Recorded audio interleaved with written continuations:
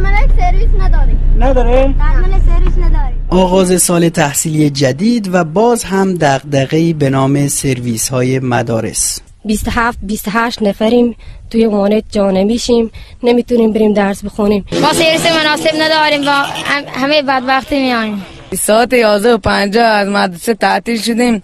الان ساعت دو انو سرویس نیومده بعضی از دانش آموزان که توان مالی داشتن رفتن نیکشهر بعضی بقیه هم تو روستا موندن. پراکندگی جمعیت در روستاهای نیکشهر سرویس های غیر استاندارد و عدم تمکن مالی والدین از موزلاتی است که منجر به ترک تحصیل برخی از دانش آموزان دختر در دهستان های هیچان و چاهان شده است. با چی بیان؟ دخترها که نمی‌تونن سر جاده بیان. 28 نفر دانش آموز دختر داریم که خوابگاه هم ندارن با وانت تویتا هم سرویس شون هست.